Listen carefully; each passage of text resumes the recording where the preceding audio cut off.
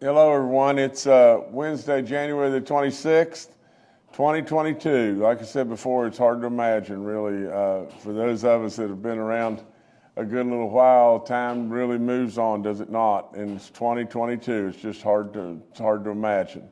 Uh, nevertheless, uh, which is way more tragic in, in every way, but we've, uh, we've lost another 29 West Virginians I ask you to join with me, with me in prayer and thoughts and, and, and loving, uh, you know, pass, pass ons in every way to these people because, because uh, we've lost a lot of great people in West Virginia. Now we're up to 5,674 people, but uh, the 5,646 death is the 53 year old male from Nicholas County.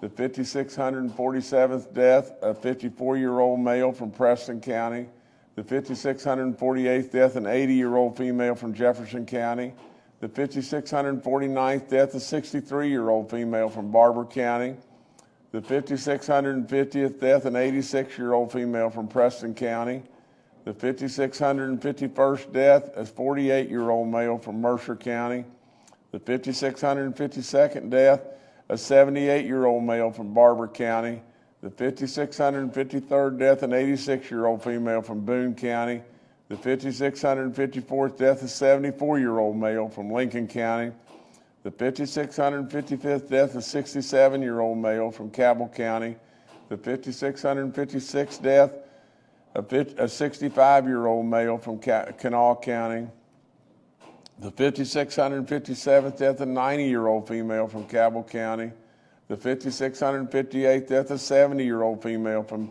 from Mercer County. The 5,659th death, a 62 year old female from Fayette County. The 5,660th death, a 74 year old male from Mercer County. The 5,661st death, an 86 year old female from Braxton County. The 5,662nd death, a 79 year old male from Cabell County the 5,663rd death, an 80 year old female from Ritchie County, the 5,664th death, a 59 year old female from Wood County, the 5,665th death, a 74 year old male from Lincoln County, the 5,666th death, a 66 year old female from Mercer County, the 5,667th death, an 84 year old male from Putnam County the 5,668th death, a 65 year old female from Lincoln County. The 5,669th death, a 77 year old male from Berkeley County. The 5,670th death, a 75 year old female from Wetzel County. The 5,671st death, a se- uh, yeah, the 5,671st death, a 71 year old male from Harrison County the 5,672nd death, of a 91 year old female from Kanawha County, the 5,673rd death, an 86 year old female from Ohio County, and the 5,674th death in West Virginia, a 66 year old male from Barbour County. A lot of wisdom, a lot, a lot of folks we've lost. I think the youngest of, of all these today was a 48 year old male from Mercer County. My. Mm-mm-mm. We have 18,149 active cases in West Virginia and 4,003 new cases within the last 24 hours. Our daily positivity rate is at 22.01%, and our cumulative positive rate is at 7.85. We do have a 405 plus people, 405 1,193 people that have recovered from this in West Virginia. But get this, we are now above 1,000 that are hospitalized. 1,009 are hospitalized. 218 are in the ICU units, and 115 of those patients are on ventilators. Overwhelmingly, the majority of those folks that are, are, are in the hospitals and or sick and on ventilators in, or in the ICU units are unvaccinated and but we are coming we are making a little progress you know with our with the color codes across our state we've dropped some of the red counties and and you can see over in i guess the uh, eastern central part of the state you know, uh, we've got at least an area there that we're making some progress and, and way out in the eastern panhandle as well and the northern panhandle. So, so uh, a little progress. We'll take a little. Uh, here's a really important announcement. Uh, the FDA announced on Monday that it is no longer permitting the use of two major monoclonal antibody treatments. And there's, so there's two of the antibodies that they are no longer, uh, you know, allowing from the standpoint that they, they think the antibodies, you know, in fighting this Omicron variant have not been very effective. They're, they're, they're, and, and Dr. Dr. Marsh and General Hoyer can give you a whole lot more in detail stuff about that, and they'll be doing that in just a few moments. You know, I thank our National Guard again now as of this morning, and I'm, I'm sure that this is going to be updated by General Hoyer as it's been every day, you know, but, but uh, my, my sheet says 206 you know, Guards members have been uh, deployed and at 26 different facilities. That's probably even a little higher than that, but, uh, but we thank them.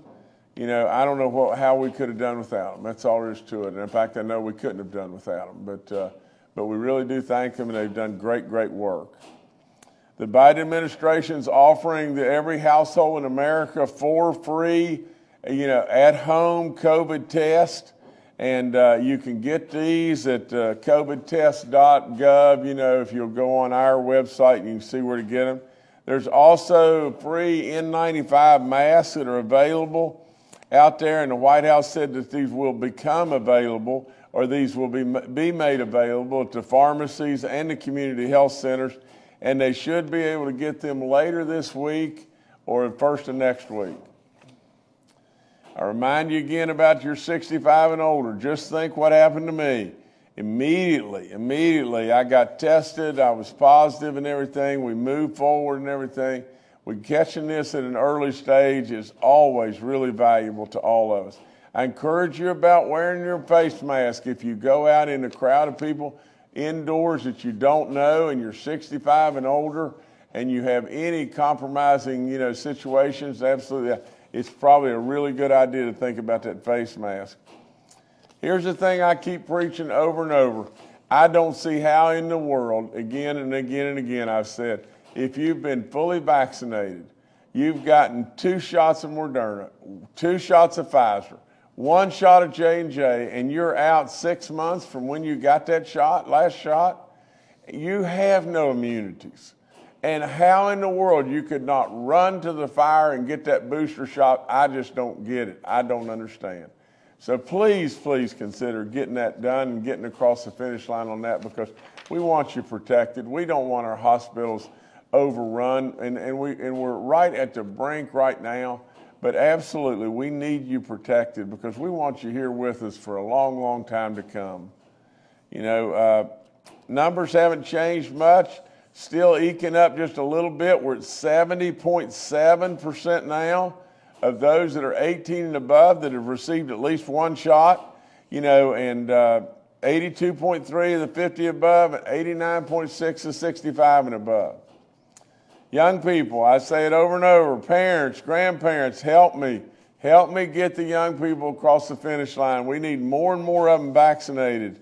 Uh, you know, all the information on the vaccine uh, info line is up. I encourage you on the free testing, take advantage. I always thank Fruth and Walgreens for all that they've done. We got 155 outbreaks in our long term care facilities, one outbreak in our church community. We do have 667 inmate cases at 27 different facilities and 209 staff cases in corrections. I'll promise you our people are on it in every way, and I hope and pray that we'll get that turned the other way immediately and things will start coming down. I encourage you about taking the flu shot. You can do it at the same time you take the COVID vaccine. I encourage you, if you're a renter or a landlord, to contact us and see if you qualify for these dollars and everything. We'd love to get them in your hands if we can. I encourage you over and over about giving blood. It's really, really, really important. Please take advantage and help us in every way. The Red Cross needs you right now and they need you badly. There's a lot of folks out there that can really, really use your help. I'd check with your physician and make sure it's okay, but if it's okay and you're good to go, please think about that. I'm going to give my State of the State address on at 7 o'clock on Thursday night and uh, encourage everybody to tune in and everything. There's some, going to be some, some more exciting announcements, but uh, you know, I don't know how we'll trump the ones that we already came out with and everything, but nevertheless, I'd surely welcome you to, to tune in and uh, I'll be doing the best that I can do and, and, and hopefully we'll be bringing more and more good news to West Virginia. And the last thing I've got is a big, giant congratulations. We got a basketball coach that I can remember her playing basketball just like it was yesterday, you know, and that's Coach Stephens. It's at Glenville State. Glenville State's women's basketball program is now ranked, and I love it. I love it to death when I can announce something from West Virginia that we're ranked first in the nation. Glenville State's women's basketball program is now ranked first in the nation. They were ranked third. They jumped two spots. They have never been ranked number one in the nation in the, in the history of the school. They're 16 and 0 under Kim Stephens as their head coach, and I congratulate them in every way in the world. You know, uh, I had a little kid that played basketball for me a couple years ago. She's a wonderful, wonderful young lady, and uh, her dad is on my detail. Her dad's name is David Hill, but Autumn Hill, you know, played a little bit of basketball at Glenville State and everything, developed a few little health issues or, you know, or significant health issues, but uh, but she loved it and she just thought it was just great. And so I congratulate all these beautiful young ladies, I'm sure, that are playing, you know, for Glenville State. And more than anything, I congratulate their coach. I congratulate, you know, Mark Maynard and or Manchin rather, and all the great stuff that he's done, you know, since he took the helm as president of that school and everything. But it is a wonderful school, and uh, and I, I couldn't be happier for them. I mean, that's great stuff. So Lady Pioneers, you just keep doing it and make us proud. You already made us really proud, but even make us prouder. Thank you so much. All right, thank you, Governor. Let's now go to Dr. Clay Marsh, our coronavirus czar. Good morning. And, and re-emphasizing a few of the points the governor's made, we are seeing the continued growth of the Omicron variant uh, in West Virginia. And the governor talked about monoclonal antibodies. And let me just review where we are related to our, um, our next generation sequencing of, all, of the positive viruses. We test about 10% of the positive uh, PCR tests in West Virginia on a weekly basis, which is somewhere around 370 to 390 samples every week. Um, and, and on December 13th, we found that there was no Omicron virus detected in those positive samples, and 100% were Delta. The week of, uh, of the Christmas vacation on 1225, we found 3.2% of the, of the samples were Omicron, the rest Delta. On 1229, 16% Omicron, 84% Delta. On 1-7, we found that about 50% of the state was Omicron, on 115, 82% Omicron, 124, 94% Omicron. In the US, Omicron accounts for almost all of the new cases now. And because of that characteristic, the federal government has, has found through research through the CDC and other investigators that these antibodies are very specific to spike proteins on the virus. And the Omicron variant has a, a, whole number of mutations in these spike proteins, over 30, that cause these spike proteins to fold differently. And the Regeneron antibodies, which is the antibody that President Trump took, and the Lilly antibody don't have the same beneficial activity against Omicron because of these mutations in the spike proteins. The one antibody that does is produced by GlaxoSmithKline. It's called sotrovimab. And so what the government has decided, and what we would agree with based on all of the research, that the Regeneron and the Lilly antibodies that were good against the Delta variant are not effective against the Omicron variant. And so they stopped approving those for use for the Omicron variant because they don't work. And now we are really focused on the uh, sotrovimab, which is the new antibody that does bind with, um, with enough um, binding power that it can still benefit people who have uh, Omicron. And, and that's indeed what we are giving now as the monoclonal antibody of choice in West Virginia and around the country. We also have the oral pill, the Paxlovid, and, which is the pill from Pfizer, the molnupiravir, the pill from Merck, and also the remdesivir, which is a drug that can be given on three consecutive days. And all these treatments uh, that we have against Omicron are highly effective um, and reduces the risk of hospitalizations in people who are testing positive, who do have risk factors because of age or coexisting medical problems or lack of an immune system that responds well, people that are immunocompromised. Also, it's important for us to recognize that we just surpassed the, um, the seven day rolling average death toll per day uh, with Omicron from Delta. And as people have said, that on a person by person basis, Omicron is less deadly than Delta is. And that's been shown in research studies. About nine people, I think, out of 100,000 infected die of Omicron, and 12 people died of Delta, or 16 people died of Delta, and 12, no, 12 people died of Delta, and 16 people died before the vaccines were available of some of those variants when we had the highest peak. But it's important to recognize that our hospital numbers are still very high. The governor reported that we remember our all-time high was 1,012. Um, in yesterday's numbers, we had 1,009. Today's numbers just came out, and we're now up to 1,043 people in West Virginia hospital beds. So we have now surpassed our all-time high. And as the governor said, um, even though our cases look like they may be starting to plateau, we know that our percent positive rate is still very high, still over 20% positive. So we are still believing that we are still watching some of the growth of, of the Omicron variant spread in West Virginia.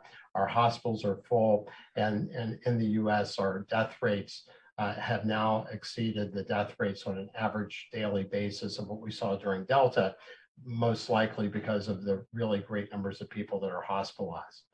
Really important that people recognize new data from the CDC would say that your risk of dying from Omicron is a hundred, hundred times higher if you are unvaccinated versus if you're fully vaccinated and boosted.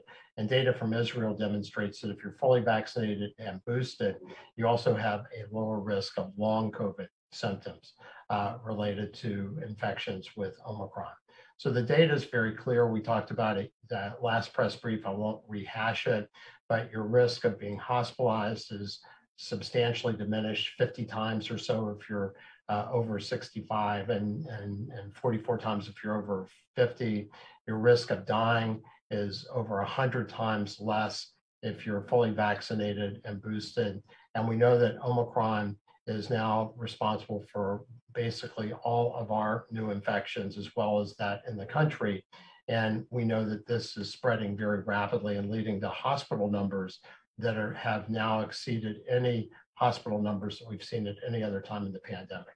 Time to choose vaccination for you and your family and your children. Time for us to pull the rope together and run to the fire. Make sure you get your boosters if you're eligible, and please consider wearing a high quality mask if you're inside because we cannot surge the hospitals um, and we have to really focus as an entire state on trying to protect that valuable asset so we protect the health of the citizens of this great state. Thanks very much. Thank you, Dr. Marsh. Next, we'll hear from retired Major General Jim Hoyer, the director of our Joint Interagency Task Force.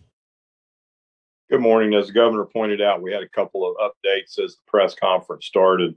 Dr. Marsh uh, highlighted the 1,043 hospitalizations. In addition, uh, National Guard requests are now 29 facilities, one of those being a long term care facility, 214 guardsmen. And there are discussions going on now during the press conference with other facilities uh, for requested support. So we'll continue to keep you updated. And as the governor pointed out, we appreciate the great work of the National Guard in being flexible and responding to these uh, needs quickly. Uh, also, highlight that, uh, as the governor pointed out, we have got to get particularly our 50 and above population booster doses. 50 and above is only 51% on our boosters, 65 and above, only 56.6%. As Dr. Marsh pointed out, it's critical to, to that as well as vaccinations in general. Uh, we know as of today, 92% of the people on ventilators in our hospitals, uh, who many tend not to come out of that uh, uh ventilator situation, 92% of those individuals are unvaccinated West Virginians. So we've really got to press uh, vaccinations. Also, a quick update there have been some discussion yesterday and some concern uh, that we were pulling uh, antibodies out of locations. That is not accurate. Uh, as Dr. Marsh and the governor pointed out, there is now two of the antibodies that we are no longer able to use because they do not work effectively on the Omicron variant, which is the most significant variant that we have now, as Dr. Marsh pointed out. Uh, the sotrovimab we we do have, and we get uh, uh, 312 units of that. Uh, just to put it in perspective, the ideal number for West Virginia would be a thousand, but because of the supply chain issues, we get 312.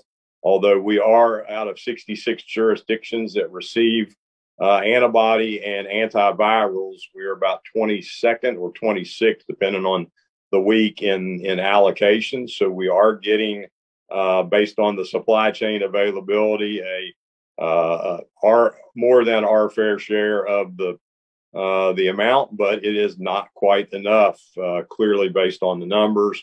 Also, uh, we do have Paxlovid uh, uh, available. although, as Dr. Marsh, Dr. Amjad would tell you, there are challenges with prescribing that because of contraindications. But again, we are continually pressing to get additional antibody and antiviral treatments and making them available in more locations across the state. Thank you. Thank you, sir. Dr. Ayne Amjad and Secretary Bill Crouch are also joining us today and are available for questions. We'll now go to questions from members of the media. The first today from Kenny Bass with WCHS and Fox 11. Hi, good morning. Thanks for taking the question. Dr. Marsh, how high is that number going to go in hospitalizations? I know you guys have a pretty good feel for it, either you or General Hoyer, from doing your tabletop exercises and seeing where the number of infections are going. What did the numbers tell you about hospitalizations in the next few weeks? Thank you. Dr. Marsh. Thank you, Governor, and thank you, Kenny. You know, to to believe that we can project an exact number is is is probably foolhardy, Kenny. But what we know is that there is a delay between when cases peak and plateau and start to come down.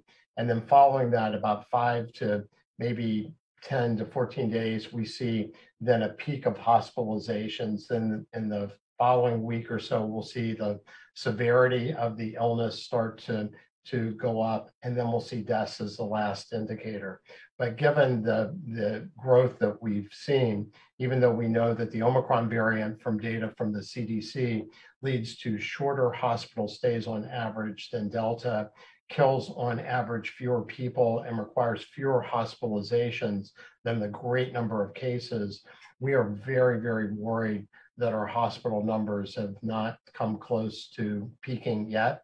And, and we are trying to do all we can to reduce that surge. But that's why we call on all of our citizens right now to please make sure that you're vaccinated and boosted, including our children who are our future. And we know that this pandemic and this virus, the Omicron variant, does impact children as well. And although most children will be okay and get better from this infection, we know that there's a group of children that may get very, very sick from this. So right now, really, really important for people to take extra precautions because we are seeing a surge on our hospitals greater than we've ever seen before. And that is a big, big concern to all of us on the leadership team. All right, thank you, Kenny. Next, we'll go to Charles Young with West Virginia News. Hi, this is Charles Young with WV News. Um, according to DHHR's numbers, we only gave 218 vaccines statewide yesterday. Uh, given you know that low number and the fact the hospitals are under such strain, has there been any discussion of scaling back the state's vaccine distribution sites and allowing those personnel to be allocated to the hospitals? Thank you. Maybe General, maybe you can answer that, sir. Yes, sir, Governor. So, Charles, two issues there. One is there was an issue with the data feed this morning from CDC. So uh, we think that's part of the uh, the number issue. But we have plenty of uh, systems in place uh, to provide vaccines to West Virginians that will take them that do not impact the manpower that we need in our hospitals. So our pharmacies, uh, uh, federally qualified health clinics, community health clinics, uh, other locations are stepping up and our health departments and doing those vaccines. So we've got a good plan to make sure that we can still vaccinate, but not have a negative impact on uh, the challenges that we face with staffing in our hospitals. All right, thank you, Charles. Next to Mark Curtis with Nexstar Media. I agree, but let me just put the phone down for just a second. Bear with me, okay? I'll be right back in 30 seconds. Uh, Governor, I have a question on a different subject today. The black mine, uh, black lung benefits for coal miners ran out at the end of 2021. It was not extended because that big uh, Build Back Better $3 trillion social infrastructure plan uh, failed in Congress. Senator Manchin has introduced a bill now to extend the black lung benefits for the next 10 years, but it's not scheduled for a vote in Congress. Uh, we're talking about thousands of coal miners, their widows, their children who depend on this monthly payment. Um, what, what can you say to do to urge Congress to get this thing across the finish line and get the black uh, lung benefits back to these miners? Well, Mark, let, let me just uh, let me just weigh in on that in, in, in as strong a way as I possibly can weigh in. You know, of course, my family and as for generations has been in, in the mining business. And, uh, and we very proudly, uh, you know, have had a, a, great relationship with the UMWA, you know, through that time in different mining operations. But uh, through all that, you, if, if you can't see the courage and all of the greatness that our miners have done for this nation forevermore. And we're going to turn our backs on those people from the political just jargon that goes on in, in Washington, D.C. You know, it is just uh, terrible beyond belief. And I hope and pray that the net result of all, all this, it will all shake out and it will get taken care of. But I'll promise you, we've got a lot of families in West Virginia that are unnecessarily scared to death and worried and, and, and, and feel like they're being abandoned and, and absolutely not appreciated in any way. Now, all I can do is bombard the Washington airways in every way I possibly can to encourage us to do the right thing, to take care of the people that have absolutely taken care of us in so many ways with courage and expertise and craftsmanship like nobody's business. I know, I know the miners, trust me, in every way. And these are people that don't just ask and ask for stuff. They are truly, truly heroes, and we need to take care of them. And, and that's not just grandstanding anyway. That's just exp- you know expressing my heart and how I feel about these great people because they are true, true heroes. So, uh, you know, Mark, we're working it, and uh, and and and you know, surely to God above, we're not going to let this happen, you know. And so, uh, you know, you have to think that at some point in time, you know, cool heads and, uh, and, and the political just crap will stop. But, uh, but, but hopefully we'll get this worked out. All right, thank you, Mark. Next to Evan Bevins with the Parkersburg News and Sentinel. Uh, thank you. Um, wanted to go back to General Hoyer. You mentioned the uh, the antibodies that are available, a, a couple of different treatments and wanted to see if you could elaborate on that. If the 312 number is is weekly, and ju- just to explain a little bit about how how that uh, reception and distribution works. Please, sir. The, yes, sir, Governor. So- So the three twelve is weekly. Uh, it is distributed across the state based on, uh, uh, orders from hospitals and other facilities. And we also, uh, on several occasions, when, uh, one area of the state needed additional and we had it available in other locations, we have, uh, a plan to, when available, to cross-load uh, that. And as mentioned, Paxlovid, the uh, antiviral, is available in a number of locations across the state, including pharmacies, and uh, is is right now available. But as Dr. Marsh and Dr. Amjad would point out, there are uh, significant challenges with contraindications for people who take other medication. Thank you. Thanks, Evan. Next to Paul Mullen with WCBC. Good morning, Governor. Good morning, everyone. I want to go with uh, Dr. Amjad on this one. Um, there are people that have decided, for whatever reason, that they will not get the vaccine. Uh, is there other things they can do health wise, vitamins, supplements, whatever, to give them a little bit better protection against uh, COVID 19 or maybe a severe, a severe attack of that? Can you, can you enlighten us, Doctor? Thank you. Dr. Amjad, please go. Yes, Governor. Um, Paul, I'll, I'll, would say no to be a simple answer. I mean, I'll tell you what people have told me that they're doing and what I've read and things, but some people will say, you know, they'll take a lot of vitamins, they'll take a lot of, and these are not wrong things to do. You can take zinc oxide, a lot of vitamin C, a lot of prenatal vitamins, and those things are healthy to do, but keep in mind you can overtake vitamins too and have a lot of abnormal side effects. But vaccines right now, especially with COVID, they, they are helping you stay out of the hospital. And I know a lot of people that don't want to take the vaccine, especially with, you know, having to take another booster shot and they think it's not working. But I've told people right now who don't want to take the vaccine that it's like wearing a raincoat right now, that it's going to keep you dry, especially right now that COVID is out there and it's, you know, just hammering us down and going to keep you dry. But there isn't anything right now that's going to work better than the vaccine. So you can take all the vitamins you want, but it's really not going to help you right now. Thanks. All right, thank you, Paul. Governor, I'll turn it back to you. Well, let me just look just one second at my notes here, but uh, you know, I, want to just I just want to quote a couple of things that have just come up, and that is. Uh,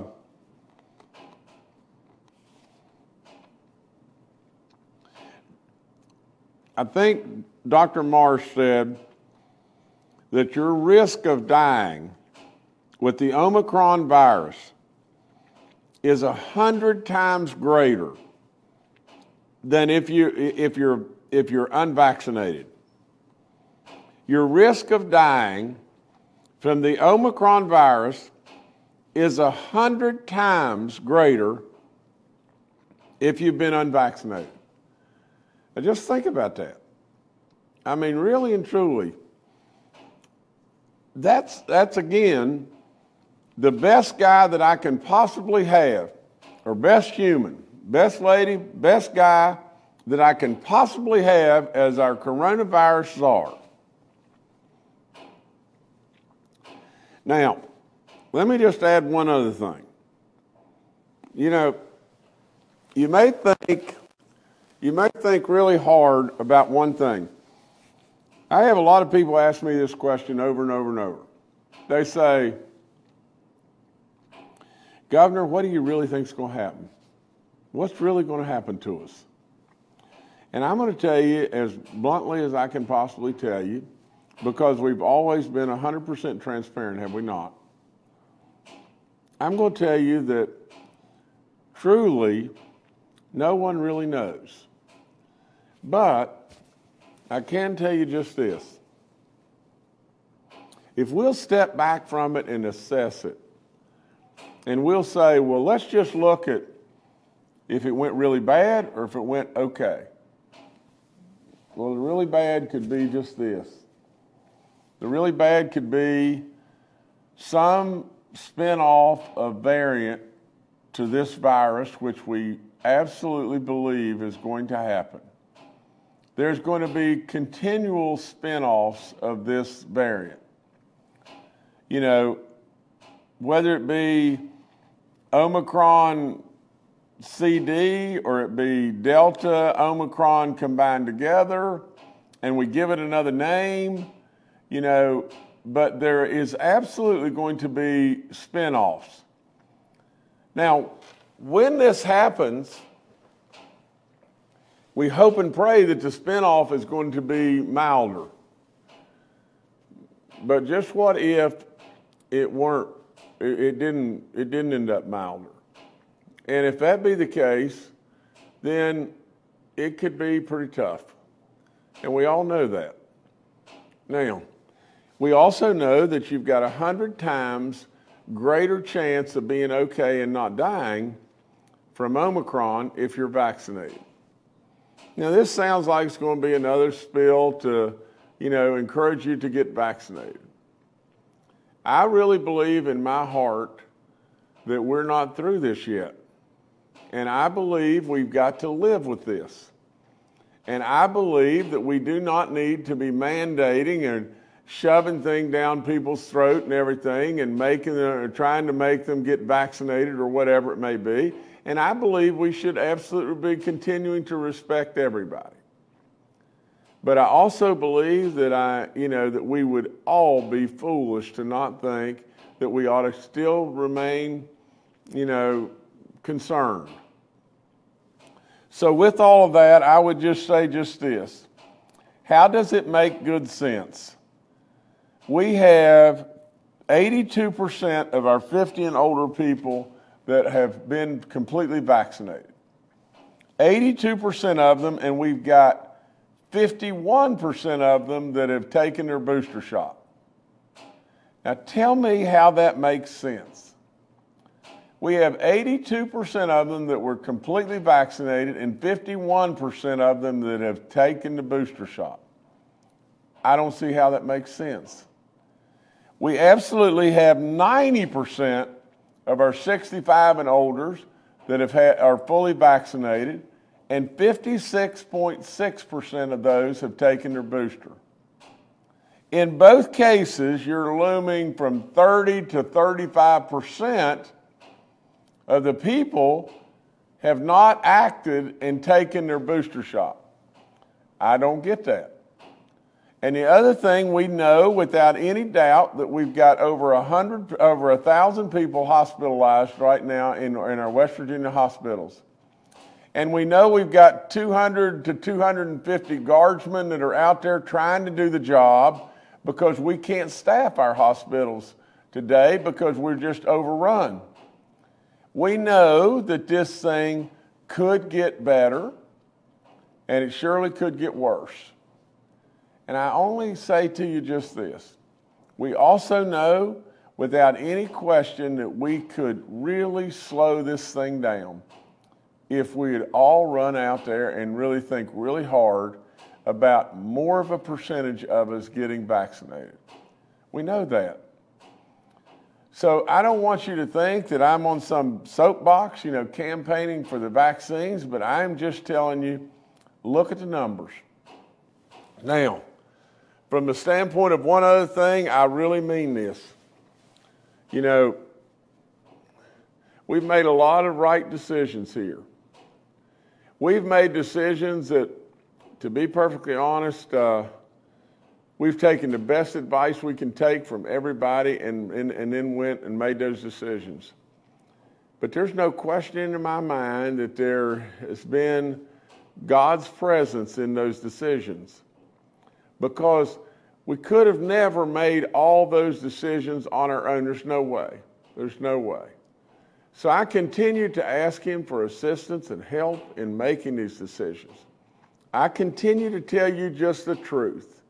We do not want this thing to get bad again to where it's infecting our children or whatever it may be, or, or our elderly, and we've got a run on the bank, you know, with, with all kinds of issues going on with our hospitals and everything. We don't want another surge.